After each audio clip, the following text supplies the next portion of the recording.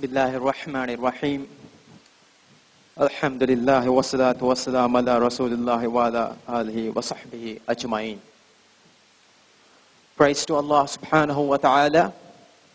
Peace and blessing to be upon the Messenger of Allah, his family and companions.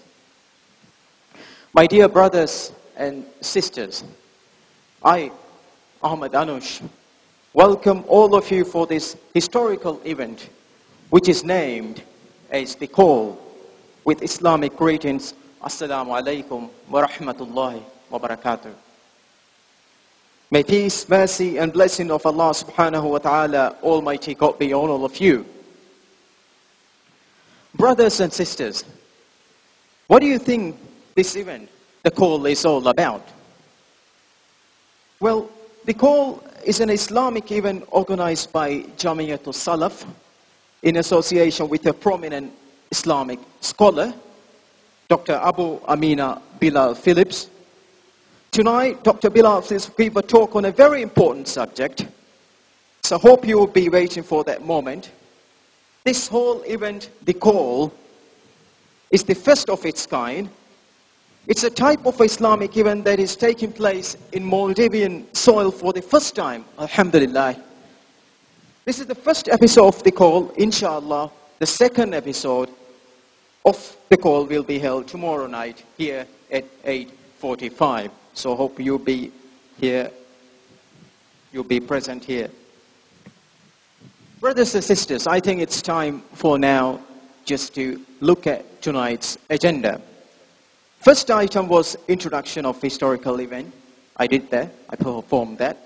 Next is a speech by Jamiatul Salaf General Secretary Mohammad Soba about this event. After that, after the speech by Jamiatul Salaf General Secretary, a youngster or young child would give a speech. That's what I would like to say or call for that. A speech that is named as our call. That's what the young child will be delivering. And, the, and tonight's main item is the talk by Dr. Bilal Philips. After that Q&A session on tonight's subject, that's what we have got on tonight's agenda.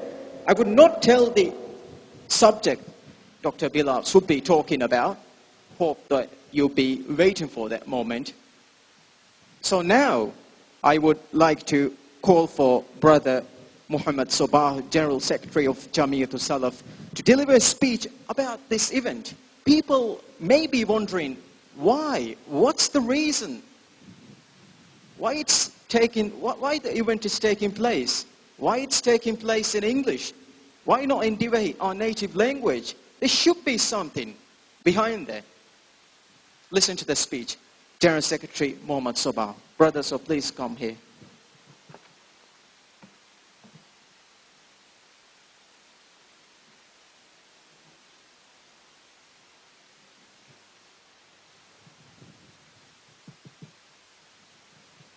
إن الحمد لله نحمده ونستعينه ونستغفره ونعوذ بالله من شرور أنفسنا ومن سيئات أعمالنا.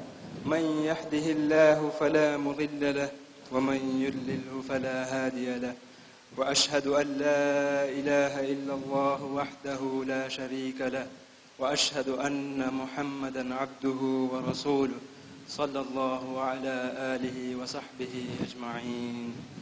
Amma Ba'd. I welcome you all with the greetings of the people of paradise. Assalamu alaikum wa rahmatullahi wa barakatuh. Today, we're gathered here to witness this event, similar to which no other event had ever been recorded in the history of Maldives. Surely, this is not from us, or not from ourselves Indeed, this is a great blessing and mercy from Allah to the people of Maldives. Alhamdulillah, all praise be to Allah who made this event a reality. It is with His, it is with His blessing and mercy that we are gathered here in this noble gathering. First of all, I would like to thank Dr. Bilal Philips for accepting our invitation to share some of his experience and knowledge with us here in this evening. Jazakallah khairan, Shaykh. Today, we mark the beginning of our long effort to bring internationally recognized speakers to our reach, to bring English-speaking scholars to address issues and challenges we face today, to offer brothers and sisters solutions, true solutions for their problems. We Jamiatul Salaf strive to deliver the true message of Islam to our brothers and sisters. This event is one such event constructed in a different form. At a time when Islam is tainted with false allegation and negative propaganda, we believe our obligation is heavier than, heavier than ever before. We condemn all forms of violence and corruption. We condemn injustice and oppression. We call for peace and justice. We believe Islam is the only solution for the entire humanity. We understand the responsibility that we have taken for ourselves. That is, the responsibility to deliver the true understanding and teaching of Islam to our beloved brothers and sisters of Maldives.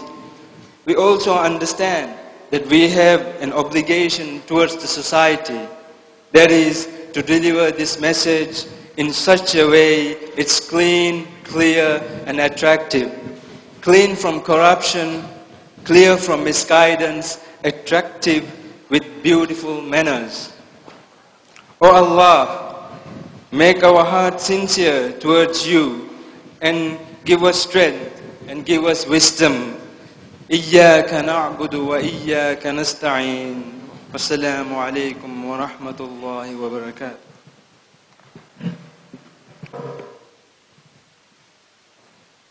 Alhamdulillah.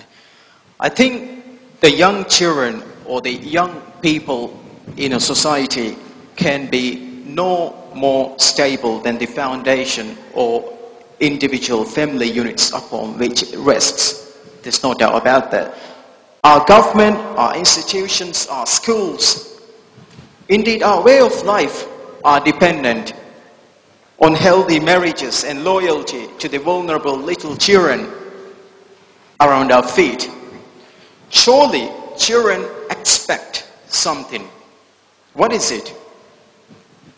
Do we really have an explicit idea what the children does actually expect from us, from the elderly people? The children, we all, they need care from the elderly people. They need the guidance from the schools. They